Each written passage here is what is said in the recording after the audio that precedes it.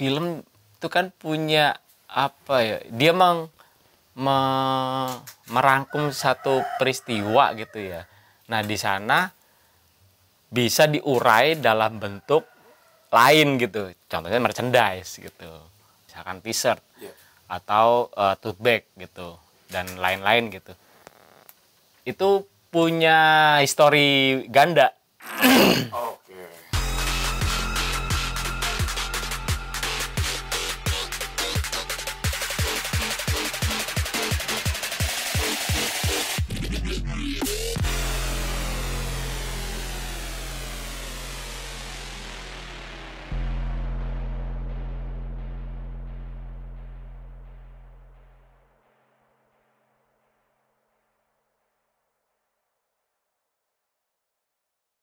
Eh, terima kasih udah niat nonton.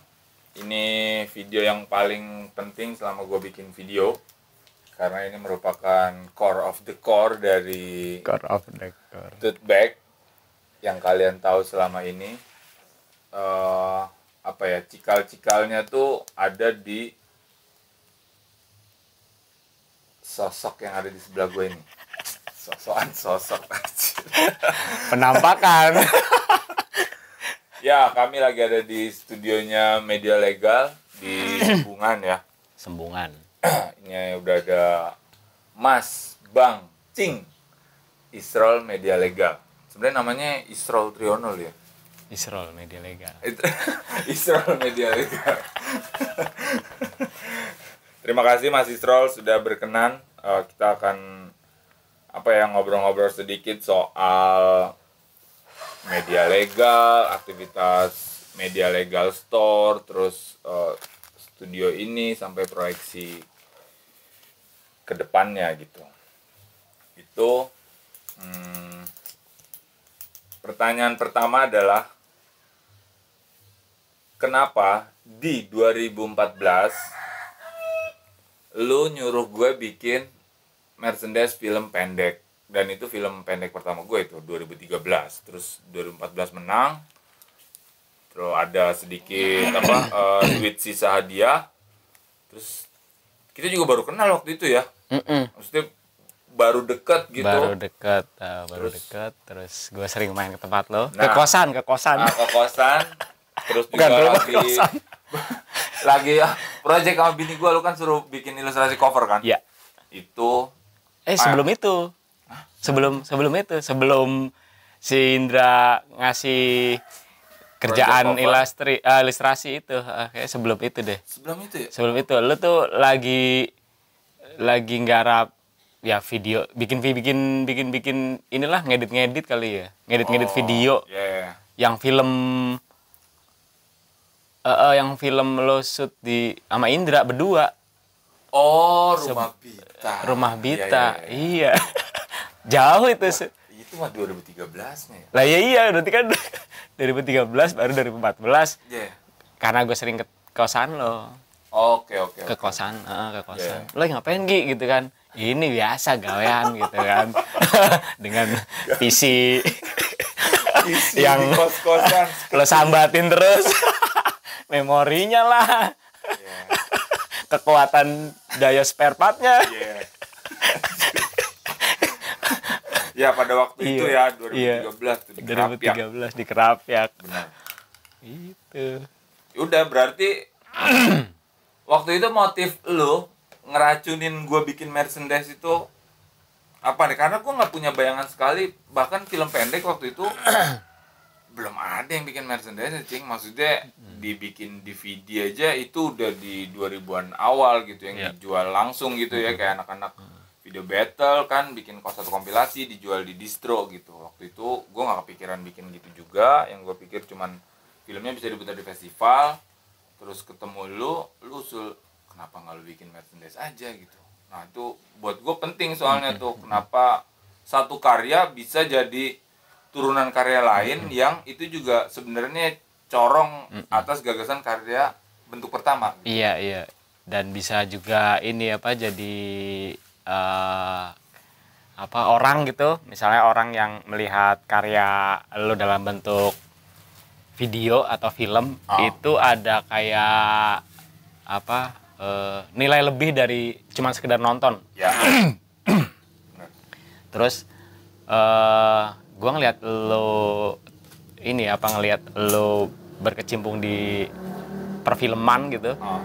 eh gue mikirnya eh, ketika lo misalnya eh, putar film di tempat-tempat lain atau acara gitu eh membayanginnya kayak lo lagi konser gitu kan lo lagi konser gitu mempertunjukkan eh, film lo kemudian di pintu depan ada apa misalkan eh, booth ya atau stand gitu yang lo mau menampilkan sekian film-film yang udah lo bikin gitu misalnya gitu dalam bentuk DVD gitu.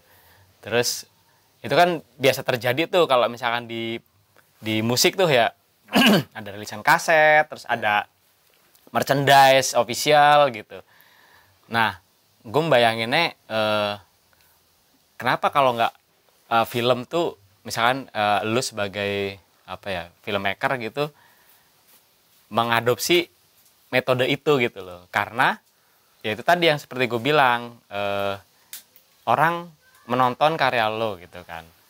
Terus ya udah gitu dia akan mengingat karya lo dalam bentuk eh, gambar bergerak gitu tapi ketika misalnya itu ada ada hal ada item lain gitu yang bisa digunakan misalkan t-shirt Iya. atau eh, tote bag gitu dan lain-lain gitu.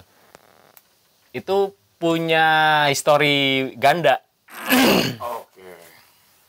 Punya histori ganda gitu. Ya eh, film itu tersendiri itu eh, film itu sendiri terus kayak eh, apa ya? Film itu kan punya apa ya dia meng me- merangkum satu peristiwa gitu ya. Nah di sana bisa diurai dalam bentuk lain gitu. Contohnya merchandise gitu.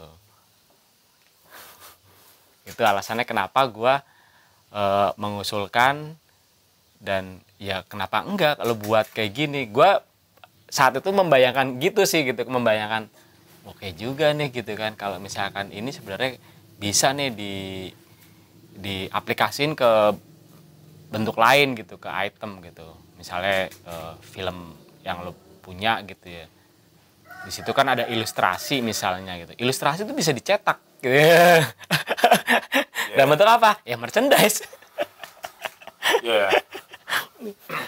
Kayak ini gitu. apa ini gue baru dapat ya waktu itu tuh gue mikirnya oh ini mungkin yang sering lu lakukan gitu di street art gitu Oh. terus bikin merchandise. Tapi Oh. ternyata bukan dari situ tapi dari band-bandan. Iya kan? iya. Iya itu tuh berarti apa?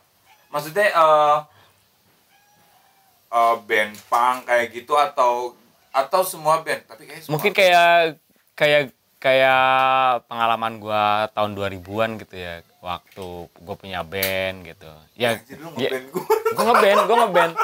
Gue ngeband ki band band punk gue ya gue ngebayangin satu konser gitu ya kayak ya dulu eh, media legal eh, juga apa namanya eh, satu label satu label apa ya salah satu label record record yang merilis eh, kaset. Yang merilis kaset eh, pertama dari band gua terus kemudian band temen dan kompilasi gitu. Oke. Tiga rilisan tuh tiga rilisan eh, kaset yang kita kerjakan lewat brand media legal. Berarti media legal label? Label Brand sama record. band lu. Brand sama band lu apa waktu itu? City Chaos. Buset City Chaos si City Chaos nih.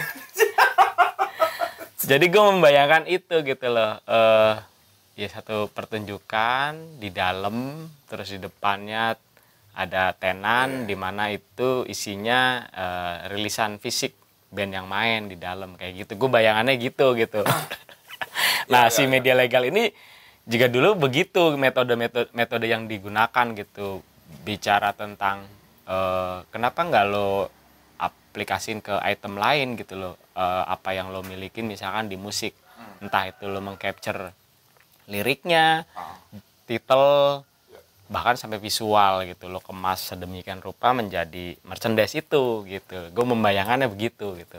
Jadi kayak gue menurunkan ini lu metode yang menarik nih gitu kan. Ya, ya, ya. terserah lu mau pakai apa kagak gitu kan. gitu. Wa- walaupun lu bukan seorang musisi dan lu bukan seorang eh, seniman visual gitu. Kayak gitu. Gue Ya. bayanginnya gitu kan. Gue ngelihat eh, wirawiri lo mengerjakan film, lo ngedit sampai gua lihat oh gini. Itu sih.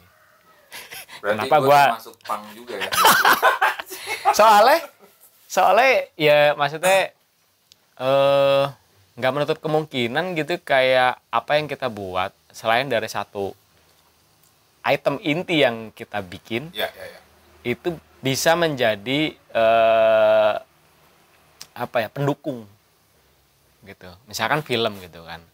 Kayak film oke misal film lalu dirilis ke DVD gitu kan. Seberapa atau ditayangin di satu eh, tempat yang besar ya. seberapa itu intens? Seberapa oplah pieces yang lo produksi itu habis Iya. gitu? Bagaimana untuk me- mendongkrak satu sama lainnya gitu loh kayak mempromosikan filmnya Hmm. atau filmnya juga bisa menduk memfasilitasi merchandise yang diproduksi gitu.